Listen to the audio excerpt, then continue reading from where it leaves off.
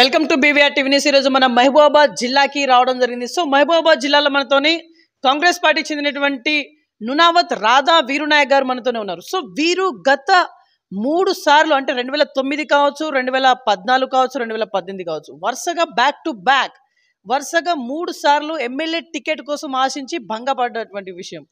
ఇప్పుడు ప్రజెంట్ కూడా MLA ticket కోసమే ఆశిస్తూ ఉన్నారు. చాలా గట్టిగా ఆశిస్తూ ఉన్నారు. ప్రజెంట్ మహబాద్ నియోజకవర్గం నుంచి వెళ్ళి ఆస్పిరెంట్ ఎమ్మెల్యే అభ్యర్థిగా వీరి పేరు కూడా వినిపిస్తూ ఉంది. సో చూద్దాం ఇప్పటికైనా టికెట్ అనేది రాబోతుందా? వస్తే ఎలా సంపాదించబోతున్నారు? ఇప్పటిదాకా వారు మహబాద్ నియోజకవర్గ ప్రజలకి ఏం చేసినని చెప్పేసి టికెట్ వీరికి ఇవ్వాలి. కొంత తెలుసుకునే ప్రయత్నం చేద్దాం. నమస్తే మేడం బాగున్నారా? నమస్తే అండి. బాగున్నాము. మా మహబాద్ జిల్లాకు ఇచ్చేసిన మీకు ధన్యవాదాలు. బీవీఆర్ ఛానల్ వాళ్ళకి ధన్యవాదాలు. నమస్కారం ఇంకొకసారి. యా. మేడం మీరు వరుసగా మూడు సార్లు టికెట్ ఆశించి భంగపడ్డారు చాలా నిరుత్సాహపడ్డారని చెప్పేసి కొంత బయట ప్రచారమే జరిగింది. ఇప్పుడు ఓకేనా మేడం? ఇప్పుడు మీరు హ్యాపీగా ఉన్నారా ప్రజెంట్ అయినా? ఇప్పటికైనా వస్తుందని చెప్పేసి ధీమా వ్యక్తం చేస్తూ ఉన్నారు కాబట్టి. తప్పకుండా వస్తుందనేసి ఆశాభావం ఈసారి బలంగా అనిపిస్తూ ఉంది. గట్టిగా ఈసారి తప్పకుండా మహిళకు అవకాశం ఇస్తారనేసి కాంగ్రెస్ పార్టీ గుర్తిస్తుంది. పదిహేను ఇరవై సంవత్సరాల నుండి కాంగ్రెస్ పార్టీలో పనిచేస్తున్న ఒక మహిళగా తెలంగాణ ఉద్యమంలో కూడా టీఆర్ఎస్ బీఆర్ఎస్ పార్టీ రెండుసార్లు అధికారంలోకి వచ్చిన తర్వాత కూడా మమ్మల్ని ఎంతో ప్రలోభపెట్టి పార్టీలో తీసుకోవాలని ఇబ్బందులు పెట్టినా కూడా మేము కాంగ్రెస్ పార్టీని పట్టుకొని ఉన్నాము. పార్టీ మీద ఆ నమ్మకం ఉంది కాబట్టి పార్టీలో ఇరవై సంవత్సరాల నుండి పనిచేసుకుంటూ వస్తున్నాము. ఆ మా కష్టాన్ని గుర్తిస్తారు. తప్పకుండా అవకాశం ఇస్తారనేసి అయితే గట్టి నమ్మకం గట్టి ఆశాభావం వ్యక్తం చేస్తూ ఉన్నాము. ఆశాభావం అయితే మీరు వ్యక్తం చేస్తూ ఉన్నారు. కానీ ఎందుకని స్పెసిఫిక్గా మీకే ఎందుకు టికెట్ ఇవ్వాలి? ఎందుకు ఇవ్వాలి? నాకే టికెట్ ఎందుకు ఇవ్వాలి అంటే ప్రజెంట్ ఉన్న ప్రజెంట్ అక్కడ ఉన్న ఆస్పిరెంట్ల దాంట్లో అందరికంటే సీనియర్ నేనే. అప్పటి నుండి కాంగ్రెస్ పార్టీని పట్టుకొని పనిచేస్తూ ఉన్నాను ఏ సమస్యలు ఉన్నా కూడా సమస్యల మీద పోరాటం చేయడానికి నేను ముందుంటాను. ఎటువంటి సమస్య మహిళల మీద సమస్యలు కానీ రైతుల మీద సమస్యలు కానివ్వండి విద్యార్థుల సమస్యలు కానివ్వండి విద్యార్థులు ఆత్మహత్యలు చేసుకున్నప్పుడు కానీ రైతు ఆత్మహత్యలు చేసుకున్నప్పుడు కానివ్వండి ప్రతి సమస్యల్లో ప్రభుత్వం ఏ సమస్యలలో ఉన్నా కూడా ప్రభుత్వం మీద వ్యతిరేక విధానాలతోటి మేము నేను పోరాటం చేస్తూ ఉన్నాను ముందుకు పోతా ఉన్నాను. అదేవిధంగా తండాలో గ్రామ పంచాయతీలు కావాలని గత ఇరవై సంవత్సరాలకు ఉంటే ముందు నుండే మా తండావాసులకు గ్రామ పంచాయతీ కావాలన్న ఉద్యమంలో ప్రత్యేక ప్రా పాత్ర పోషించాను. అందులో కూడా పాల్గొన్నాం మేము. కాబట్టి ఇన్ని ఒక మహిళగా అయి ఉండి అన్నిట్లో పోరాటం చేసుకుంటా ముందుకు వస్తున్నాను కాబట్టి అవకాశం ఇవ్వాలని గట్టిగా అడుగుతున్నాము మేము కాంగ్రెస్ పార్టీని పట్టుకొని ఉన్నాము కుల సంఘాల ఉద్యమాలలో ఉన్నాము పార్టీకి మరి ఎటువంటి వ్యతిరేక విధానాలకు కాకుండా పార్టీ లైన్లో పనిచేస్తున్నాను. పార్టీకి ద్రోహం చేయకుండా పార్టీకి న్యాయం చేసే విధంగా. గతంలో ఇద్దరికి ముగ్గురికి ఇచ్చినా కూడా వాళ్ళకు సపోర్ట్గా పనిచేశాను నేను. వాళ్ళకు సపోర్ట్గా పార్టీని గెలిపించే విధానంలో కష్టపడ్డాను. వాళ్ళు పార్టీకి ద్రోహం చేసి వెళ్ళిపోయారు. అయినా నేను పార్టీని పట్టుకొని ఉన్నాను. దీనికి గుర్తించవలసిన అవసరం ఉంది. తప్పకుండా గుర్తిస్తారనేసి అయితే ధీమా ఉంది. Yeah okay madam. మీరు ఏదైతే హండ్రెడ్ పర్సెంట్ ధీమా వ్యక్తం చేస్తూ ఉన్నారు కంపల్సరీ మీకే వస్తుందని చెప్పేసి. ఇదంతా వదిలేద్దాం. అంటే ఒక ఆస్పిరెంట్ ఎమ్మెల్యే అభ్యర్థిగా మీరైతే చలామణిలో ఉన్నారు కాబట్టి మహబూబాబాద్ నియోజకవర్గం గురించి మనం మాట్లాడితే ఎట్లాంటి సమస్యలు ఉన్నాయి మీకేమైనా అవగాహన ఉందా సమస్యల పట్ల? తప్పకుండా.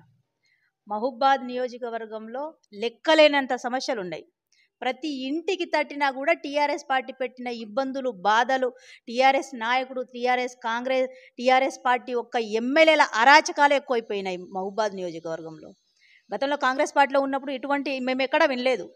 వాళ్ళు పార్టీకి ఏదైనా ఏదైనా ఎమ్మెల్యేకి ఎదురుగా మాట్లాడినా కూడా కేసులకు భయపెట్టేసి మా భూములు ఎక్కడ లాక్కుంటారో అనేసి సమస్యలతోటి ఆ అసలు అభివృద్ధి సమస్యలు మర్చిపోయారు.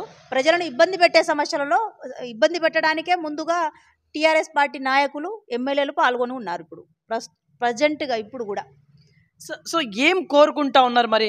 మహబూబాబాద్ జిల్లా ప్రజలు కావచ్చు లేకుంటే నియోజకవర్గ ప్రజలు కావచ్చు ఏం కోరుకుంటా ఉన్నారు? మంచి నాయకత్వాన్ని కోరుకుంటున్నారు. న్యాయం చేసే నాయకుల్ని కోరుకుంటున్నా కోరుకుంటా ఉన్నారు. ప్రజలకు న్యాయం చేసే నాయకుని కోరుకుంటున్నారు.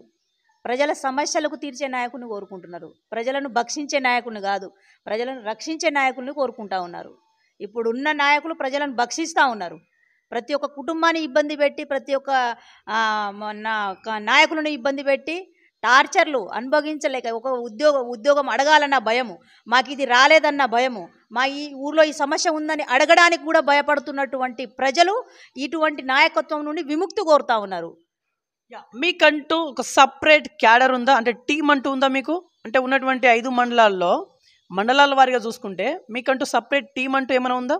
హండ్రెడ్ పర్సెంట్ నా టీం పనిచేస్తుంది అన్ని మండలాలలో నా టీం అనేది వర్క్ చేస్తుంది. అన్ని మండలాల్లో నా టీం ఉంది. మహబాద్ మహబాద్లో కానివ్వండి దోమ మన నెలుకుదురు కేసముద్రం కొత్తగా అయిన ఇనుగుర్తి మండలం గూడూరు మండలం మహబాద్ టౌన్లలో ప్రతి మండ మండల మండల హెడ్ క్వార్టర్ల వరకు నియోజకవర్గాల హెడ్ క్వార్టర్ల వరకు నా టీం అనేది సపరేట్ ఉంది. నా టీం పనిచేస్తుంది వచ్చే అవకాశం వచ్చేటప్పుడు ఎట్లా బయటికి వస్తుంది అనేసి అట్లా బయటికి వస్తాం యా అక్కడ ఆస్పిరెంట్ ఎమ్మెల్యే క్యాండిడేట్ అని చెప్పేసి అంటే మీ పార్టీ నుంచెళ్ళి ఒక ఐదుగురి పేర్లు అయితే వినిపిస్తూ ఉంది. మేడం మీ మీ మిమ్మల్ని పక్కన పెడదాం. రిమైనింగ్ నలుగురు ఉన్నారు కదా ఆ నలుగురి కన్నా మీరు ఎందులో బెటర్ మేము నిరంతరం ప్రజల కోసం పోరాటం చేస్తున్నానండి. నా వరకు చెప్పుకుంటే ప్రజల కోసం పోరాటం చేస్తున్నాం మహిళల కోసం ఇప్పుడు నాకు మహిళా అధ్యక్షురాలకు బాధ్యత ఇచ్చారు కాబట్టి మహిళలకు ఏ సమస్య ఉన్నా కూడా హాస్టల్ పిల్లలకు వచ్చే సమస్యలు మహిళా సమస్యలు ఉన్నా కూడా ప్రతి ఒక్క విషయంలో నేను ముందుండి పనిచేస్తున్నాను వాళ్ళకంటే బెటర్ అంటే వాళ్ళు వాళ్ళు చేసిన పనులు ఏంటిది? వాళ్ళు ఎన్ని సంవత్సరాల నుండి కాంగ్రెస్ పార్టీలో పనిచేస్తున్నారు ఎక్కడి వరకు పనిచేస్తున్నారు కాంగ్రెస్ పార్టీలో చేసిన అభివృద్ధులు ఏంటి? పార్టీని డెవలప్ చేసింది ఏంటిది? పార్టీ నష్టం చేసే విధంగా చేశారా? అభివృద్ధి చేసే విధ విధంగా చేశారనేసి అధిష్టానం చూస్తుంది. మరి బలరాం నాయక్ గారు సెంటర్ మినిస్టర్గా పనిచేసినటువంటి వ్యక్తి పోయినసారి పోటీ చేశారు.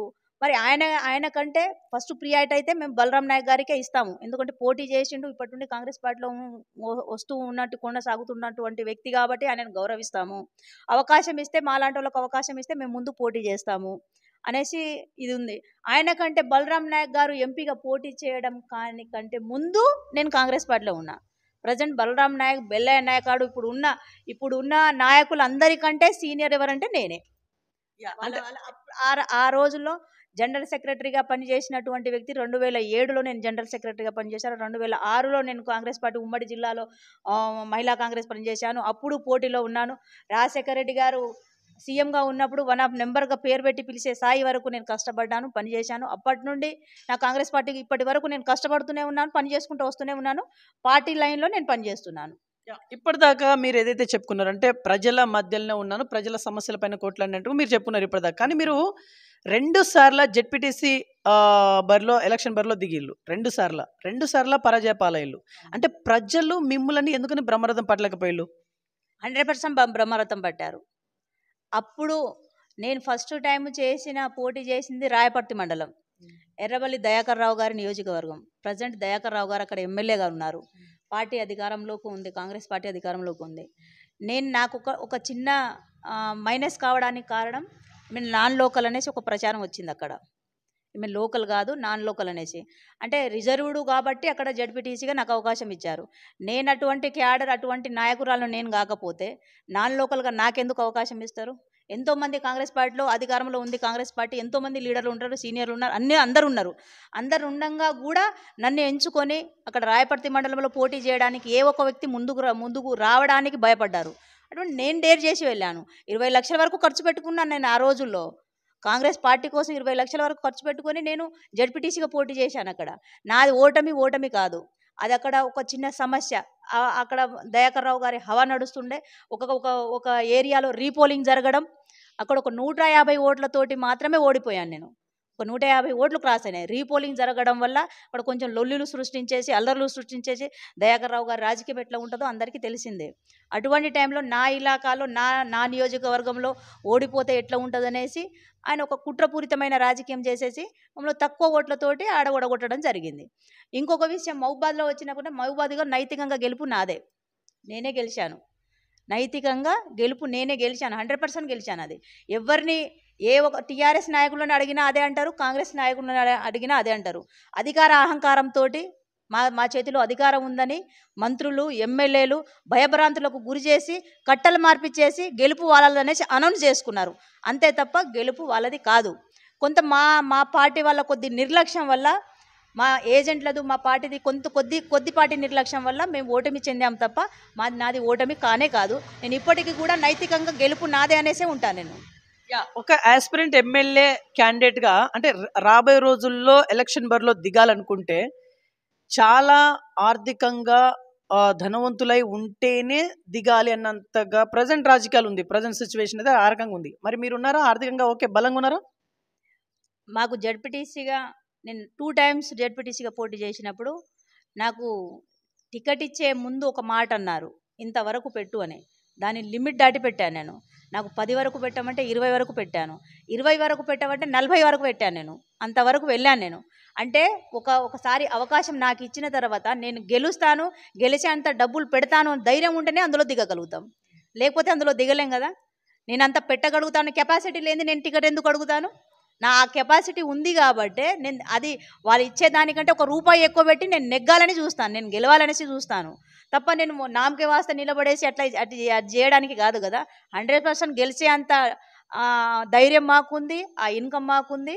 కాబట్టి నేను టికెట్ కొట్లాడి కొట్లాడి టికెట్ తీసుకోవాలి నేను గెలుస్తాను గెలిపి చూపెడతాను నేను. యా మీరు ఇప్పటిదాకా చెప్పుకున్నది ఓకే. టికెట్ అనేది ఎట్లయినా మీరు సంపాదించుకుంటారని చెప్పి మీరు చెప్పున్నారు ఓకే. కానీ దాని తర్వాత పరిణామాలు. ప్రజలు మీకు ఎందుకని ఓట్లు వేయాలి మీరు ఏం చెప్పి ఓట్లాడే ప్రయత్నం చేస్తారు? చెప్పడానికి మీ దగ్గర ఉండేటువంటి అస్త్రం ఏంటిది?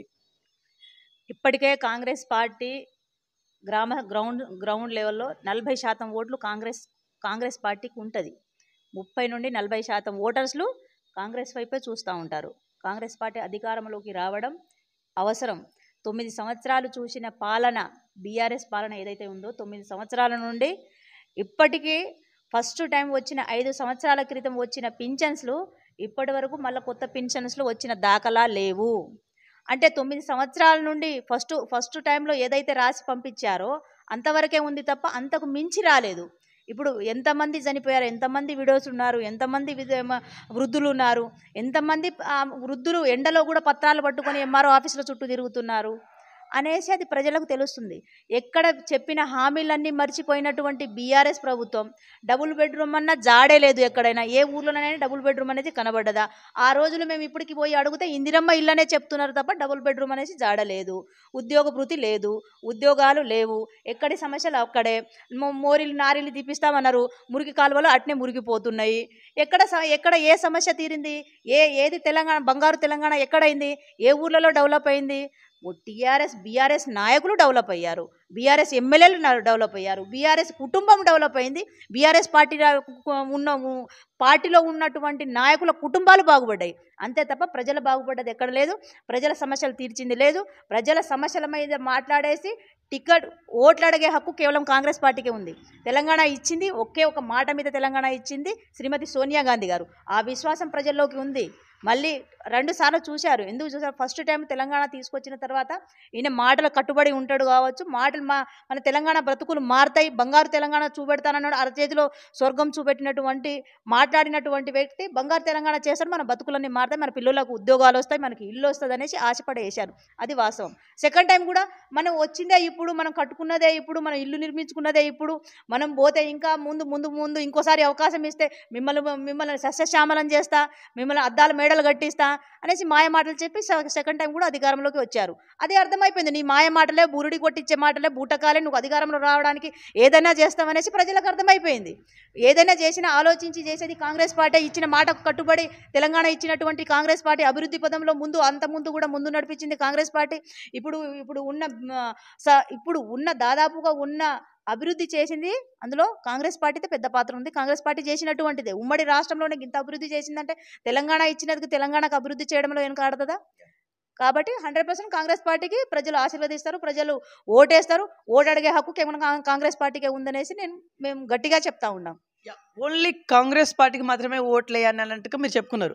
కానీ అక్కడ భారతీయ జనతా పార్టీ అనేది చాప కింద నీరు లెక్కన ప్రవహిస్తూ ఉంది. సో ఏంటి మీ వైఖరి ఏంటి బీజేపీపై? ఇప్పుడు బీజేపీ అది ఎంత చాప కింద నీరుగా వెళ్ళిపోయినా ఏం చేసినా కూడా ప్రజలకు చేసింది ఏంటిది? BJP party. తెలంగాణకు చేసింది ఏంటిది? నిత్యవసర దశల ధరతోటి సతమతం అవుతా ఉంటే ఇంకా బీజేపీ పార్టీ ఎక్కడుందండి? గ్యాస్ల రేట్ పెంచుతీవి డీజిల్ రేటు పెంచుతీవి పెట్రోల్ రేట్ పెంచుతీవి నిత్యవసర ధరలు పెంచుతీవి ప్రతి దాని మీద జీఎస్టీ వేస్తేవి. ఇంకా బీజేపీ పార్టీకి ఏ మోహం వేసుకొని జనాలు ఓటేస్తారు? దేనికి ఏం అభివృద్ధి చేసిందనేసి బీ బీజేపీకి ఓటేస్తూ ఉంటారు. జిఎస్టీ వేసారు ప్రతి పాల ప్యాకెట్లతో సహా పెన్నులు రాసుకునే పెన్నుల మీద జిఎస్టీ వేసేసారు ఏం అభివృద్ధి చేసారు ప్రజల సమస్యలు ఏం తీర్చారు పేద ప్రజలకు ఏం తీర్చారు రైతుల సమస్యలు ఏం తీర్చారు రైతుల సమస్యలు ఏం తీర్చారు. ఏడు వందల ఏ- ఏడు వేల మంది రైతులు ఆత్మహత్యలు చేసుకుంటా ఉంటే ఏ సమస్యలు నల్ల చట్టాన్ని తీసుకొచ్చి రై రైతుల ఆత్మహత్యలకు పాల్పడ్డారు కదా? అటువంటి బీజేపీ ప్రభుత్వాన్ని ఏ విధంగా స్వాగతి స్వాగతిస్తారు? తొమ్మిది సంవత్సరాల నుండి బీజేపీ ప్రభుత్వం పాలన ఎటు ఏ విధంగా ఉందో అనేసి తెలియదా మత వివాదాలు సృష్టించి జనాల్లోకి రెచ్చగొట్టించేసి రెచ్చగొట్టిచ్చేసి అల్లర్లు పుట్టించేసి జనాలను గొడవలు పెట్టించే విధంగా బీజేపీ ప్రభుత్వం చేస్తూ ఉంటే రోజు ఈ ఆ రోజుల్లో కాంగ్రెస్ పార్టీ ఉన్నప్పుడు రైతులకు గిట్టుబాటు ధర ఇచ్చింది కాంగ్రెస్ పార్టీ. ఈ రోజు రైతులకు గిట్టు గిట్టుబాటు ధరలు అనేది ఉందా? లేదు. వాళ్ళకి కష్ట ఎంతమంది రైతులు పురుగుల మంది తాగి తాగి చనిపోయిన రోజు లేదా? ఏమన్నా కేంద్రం పట్టించుకుందా? కేంద్ర కేంద్ర ప్రభుత్వం ఏమైనా పట్టించుకుందా? రైతులకు రుణమాఫీ చేసిందా? రుణమాఫీ చేసి రైతులను ఆదుకునే ప్రయత్నం ఏమైనా చేసిందా? విద్యార్థులకు ఏమైనా చేసిందా? ఉద్యోగంతులకు ఏమైనా చేసిందా? మహిళలకు ప్రత్యేకంగా ఏమైనా అవకాశం కల్పించిందా? ఏం చేసిండు నిత్యావసరాలతో సతమతం అవుతా ఉంటే ఇంకా బీజేపీ పార్టీ పార్టీ ఉందనేసి అంటారు ఏంటండి? బీజేపీ పార్టీకి ఓటే ఓటు ఏ పరిస్థితిలోనూ బీజేపీ పార్టీ రాదు. బీజేపీ పార్టీకి ఓట్లు ఓటు బ్యాంక్ అనేది బీజేపీ పార్టీకి లేనే లేదు. అటువంటిది ఎట్లా ఇస్తారు యా. అంటే మీరు ఇన్ని రకాలుగా చెప్పుకున్నారు. అంటే సమస్యల పట్ల మీకున్నటువంటి అవగాహన అమోఘం నిజంగా చెప్పాలంటే. ఓకే ఫర్ ఎగ్జాంపుల్ మీకు టికెట్ వచ్చి తద్వారా ప్రజల ఆశీస్సులతో మీరు ఒకలా గెలిస్తే యాజ్ ఏ ఎమ్మెల్యేగా మీరు ఏం చేయాలనుకుంటున్నారు? ఫస్ట్ డెవలప్మెంట్ ఏం చేయాలనుకుంటున్నారు? ఫస్ట్ ఉన్న గ్రామ స్థాయిలో ఉన్న సమస్యలను పరిష్కరించే విధంగా కాంగ్రెస్ పార్టీ తీసుకునే నిర్ణయం ప్రకారంగా మేము అభివృద్ధి చేస్తాము. అంతే విధ అదే అదే కాకుండా గూడూరు మండలం చాలా పెద్దది. దానికి రెవెన్యూ చేయాలనేసి ఒక మా మా ఆలోచన. వచ్చిన తర్వాత రెవెన్యూ డి డివిజన్గా చే చేయాలనేసి. బస్ స్టాండ్ల విషయంలో చాలా గూడూరు బస్ స్టాండ్ అయితే చాలా ఎన్ని గవర్నమెంట్లు వచ్చినా మారినా కూడా బస్ స్టాండ్ తలరాత మారతలేదు. ఇప్పుడు పొద్దున లేవంగానే అటు నుండి వెళ్తూ ఉంటారు వస్తూ ఉంటారు. రోడ్ల మీద బస్ ఆగుతున్నాయి. సమస్య ప్రజలు రోడ్ల మీద ఆగేసి ఎంతోమంది యాక్సిడెంట్లు అయి చనిపోతున్నటువంటి సమస్య ఉంది. దాన్ని ఒక డెవలప్ చేసేసి బస్ స్టాండ్ ఒక అభివృద్ధి ప్రదంగా బస్సులన్నీ అందరు ఆగే అది Khammam highway road Khammam highway పోతున్నటువంటి గూడూరు మండలాన్ని ఎవ్వరూ పట్టించుకున్నటువంటి పరిస్థితి మా మండలాన్ని ఎవరు పట్టించుకోవటటువంటి పరిస్థితి. కాబట్టి రెవెన్యూ డిపా రెవెన్యూ డివిజన్గా మార్చడం ఒకటి బస్ అభివృద్ధి చేయడం ఒకటి. ఇంకొకటి మహుబాద్లలో అన్ని విలేజ్లలో అన్ని గ్రామాల్లో ప్రతిదీ ప్రతిదీ సమస్య ఉన్నది. డబుల్ బెడ్రూమ్ ఇల్లు లేక ఇప్పటికీ దారి లేకుండా రోడ్లు లేకుండా ఉన్నటువంటి గ్రామాలు ఉన్నాయి. కరెంటు సౌకర్యం లేనటువంటి గ్రామాలు కూడా ఇప్పటికీ ఇంత డెవలప్ అయినా కూడా ఇంత కంప్యూటర్ కాలంలో కూడా ఇంకా వెనుకబడ్డ గ్రామాలు చాలా ఉన్నాయి. అటువంటిది సమస్యలను చూసి హండ్రెడ్ పర్సెంట్ సమస్యకు పరిష్కారం చేసే విధంగా ప్రజలకు ఏదైతే కావాలనుకున్నదో అది సమకూర్చే విధంగా మేము గెలిచిన తర్వాత కంపల్సరీ చేసి చూపెడతాం అది. మేము చెప్పడం కాదు చేసి చూపెడతాం. యా. ఇప్పటిదాకా అంటే మీరు ఒక సీనియర్ నాయకురాలుగా చెప్పుకున్నారు కదా మీ మహబూబాబాద్ నియోజకవర్గ ప్రజలకు మీరు ఏం చేసిల్లు అని ఎవరైనా మిమ్మల్ని సూటిగా ప్రశ్నిస్తే ఏంటి మేడం దాని ఆన్సర్ ఏంటిది? అంటే ఏమైనా సేవా కార్యక్రమాలు నిత్యావసర పంపిణీ ఇట్లాంటి ఏమైనా చేసిల్లా మీ ప్రజలకి మీరు ఇప్పటిదాకా? తప్పకుండా చేసినాం. హండ్రెడ్ పర్సెంట్ చేసినాం. కరోనా వచ్చిన టైంలో చాలామంది మండలాల వైజ్గా అందరికీ సపరేట్గా కరోనా ఉన్న పేషెంట్లకు పండ్లు పంపిణీ ఇంట్లో ఉన్న ఇంటి ఇంటి దగ్గర ఉన్న పేషెంట్లకు కూడా వాళ్ళకు ఫ్రూట్స్ పండ్ల పంపిణీ కార్యక్రమాలు చేసినాము. అదేవిధంగా రైతులు ఆత్మహత్య చేసుకున్న కుటుంబాలను అందరి పరామర్శించి మాకు తోచినంత ఆర్థిక సాయం చేసినాము. చనిపోయిన కుటుంబాలు కానీ అంటే పార్టీ అధికారంలోకి లేదు. ప్రజెంట్ మేము అధికారంలోకి లేము కాబట్టి మా ఛాయాశక్తిలా మేము పనిచేసాం మేము మేము సహాయం చేసే విధంగా చేసినాము. ఇంకొకటి గతంలో కూడా కాంగ్రెస్ పార్టీ అధికారంలో ఉన్నప్పుడు నేను ఫస్ట్ టైము పీసీసీ జనరల్ సెక్రటరీగా ఉన్నప్పుడు మాకు కొన్ని ఫండ్స్ ఇచ్చారు. నా మండలానికి నా మండలం వరకు అభివృద్ధి చేయాలనే విధంలో మేము యాభై లక్షల వరకు తీసుకొచ్చి అప్పుడు అభివృద్ధి సీసీ రోడ్లకు కానివ్వండి దానికి అభివృద్ధి కోసం అని నేను అప్పుడే అంటే నేను నేనేం ప్రజెంట్ అప్పుడు ఒక జనరల్ సెక్రటరీ పోస్ట్లో ఉన్నాను తప్ప నేనేం పవర్ పవర్ ఉన్న పోస్ట్లో లేను. అయినా కూడా అప్పుడు రాజశేఖర రెడ్డి గారు గవర్నమెంట్ రాజశేఖర రెడ్డి గారిని రిక్వెస్ట్ చేసేసి ఆ ఫండ్స్ తీసుకొచ్చి చేశాము. అంటే మాకు అప్పటి నుండి తొమ్మిది సంవత్సరాల నుండి పార్టీ అధికారంలోకి మాకు పవర్ లేదు కాబట్టి మా సాయశక్తిలో మేము పని చేసుకుంటూనే పోతున్నాం. ఇంకొకసారి అవకాశం ఇస్తే మేము లే పవర్ లేకున్నా కూడా ఇంత పని చేసినాం కదా ఇంత కష్టపడ్డాం ఇంత ఆదుకోవడానికి మేము ముందు వచ్చినాం కదా మానవత్వంతో పని చేస్తున్నాము. అవకాశం ఇస్తే హండ్రెడ్ పర్సెంట్ మేము ప్రజలకు న్యాయం చేసే విధంగా ప్రజల పోరాటం కోసమే పనిచేస్తాను మా హస్బెండ్ ఒక గవర్నమెంట్ ఎంప్లాయీ. జిల్లా జాయింట్ డైరెక్టర్ ఆయన. ఇప్పుడు మా కుటుంబం పరంగా నేను చూసుకుంటే మాకు ఓకే పర్వాలేదు. కానీ ప్రజలకు సేవ చేయాలనే ఒక ఉద్దేశంతో ఒక మానవత దృక్పథంతో ఆ ఉద్దేశంతో నేను బయటికి వచ్చాను. ప్రజలకు సేవ చేయాలి. జరుగుతున్న అన్యాయాలను ప్రతి విషయంలో నేను అన్యాయాలను అరికట్టడం ఎవరైనా చెడు చేస్తే అది చెడు చేసిన అనేసి మొహం మీద నిలదీసే అటువంటి వ్యక్తి నేను. నువ్వు చెప్పు తప్పు చేస్తున్నావు అంటే తప్పు చేస్తున్నావు అనేసి నిలదీస్తా. నేను న్యాయం కోసం పోరాటం చేస్తా. ప్రజలకు న్యాయం చేసే విధంగా ఏదైనా కానీ ఎంత దూరమైనా వెళ్తా నేను. మహబూబాబాద్ నియోజకవర్గంలో ఆస్పిరెంట్ అభ్యర్థులు ఐదుగురు ఉన్నారు కదా. ఆ ఐదుగురులో అంటే సమన్వయ లోపం ఏదైనా జరిగితే తద్వారా ఓట్ల చిల్లిక జరిగి మీ అభ్యర్థి ఎవరైతే నిలబడతారో అది గెలవని పరిస్థితి అవుతుంది కదా. అంటే మీరు నిలబడ కూడా గెలవరు మీరు. అంటే మీ సమన్వయ లోపాన్ని సరిదిద్దుకుంటారా? Hundred percent సరిదిద్దుకుంటాం. ఇప్పుడు రెండు వేల తొమ్మిదిలో అప్పుడు డిలిమిటేషన్లో ఏదైతే ఉందో ఇప్పుడు మహబాద్ ఎస్టీ డిలిమిటేషన్ అప్పుడు రిజర్వేషన్ వచ్చింది. డిలిమిటేషన్లో ఎస్టీ నియోజకవర్గంగా అప్పుడు వచ్చింది. వచ్చినప్పుడు నేను వన్ ఆఫ్ ఆస్పిరెంట్ అక్కడ. ఒక మహిళకు అవకాశం ఇవ్వాలి మహిళకే అవకాశం ఇవ్వాలంటే నేను లైవ్లో ఉన్నప్పుడు ప్రజెంట్గా పనిచేస్తున్నా లైవ్లో ఉన్నా నేను. జనరల్ సెక్రటరీగా స్థానికురాలిగా. నేను స్థానికురాలిని అక్కడ. నేను పోటీలో ఉన్నా. అప్పుడు అందరూ చాలామంది అంటే టికెట్ డైరెక్ట్గా లైవ్లో ఉన్న వాళ్ళు టికెట్ ఆశించారు లైవ్లో లేని వాళ్ళు ఆశించారు పార్టీకి సంబంధం లేని వాళ్ళు కూడా టికెట్ ఆశించడం జరిగింది అప్పుడు. రెడ్డి నాయక్ మంత్రిగా ఉన్నారు. తన బిడ్డను చాప కింద నీరులాగా రాజకీయ చాకచక్యంతో రాజకీయ కోణంతో తన బిడ్డను తీసుకొచ్చేసి టికెట్ ఇప్పించారు. అప్పుడు మాకు ఒక మేము ఒక ఆస్పిరెంట్లు భంగపడ్డం లైవ్లో ఉన్నాం పని చేసినాం కష్టపడ్డం వాళ్ళకు మాకు టికెట్ రాలేదన్న బాధ మాలో ఉంది. తప్పకుండా ఉండేది అప్పుడు.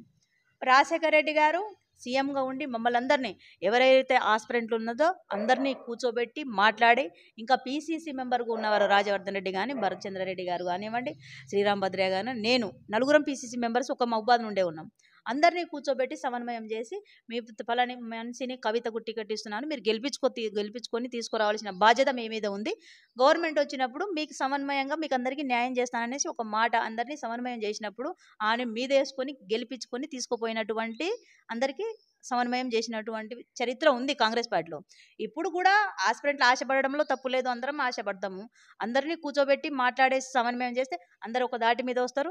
కాంగ్రెస్ పార్టీని గెలిపించడానికే ఇప్పుడు ఎవరున్నా కూడా గెలిపించడానికే పనిచేస్తారు తప్ప కాంగ్రెస్ పార్టీ అవసరం కార్యకర్తలకు నాయకులకు ప్రతి ఒక్కరికి.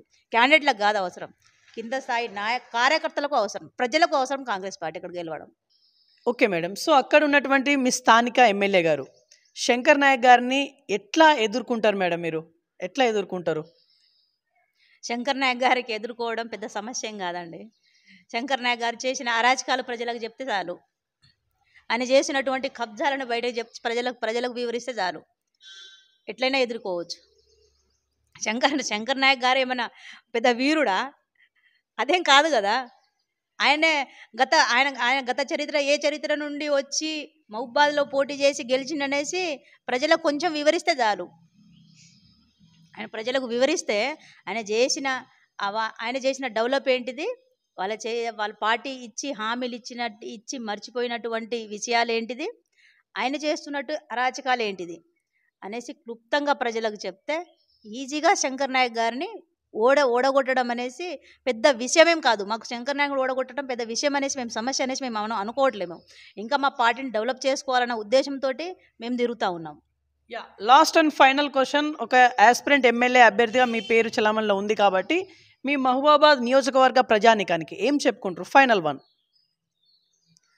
మహబాద్ నియోజకవర్గ వర్గ ప్రజానికానికి ప్రజలందరికీ ఓటర్ మహాశయులకు అందరికీ మేధావులకి అందరికీ మేము చెప్పి మనం చెప్పే మేము నేను చెప్పేది ఏంటిదంటే రాబో రోజుల్లో కాంగ్రెస్ పార్టీ ప్రతి ఒక్క పేద కుటుంబానికి ప్రతి ఒక్క రైతులకు ప్రతి ఒక్కరికి కాంగ్రెస్ పార్టీ అవసరం.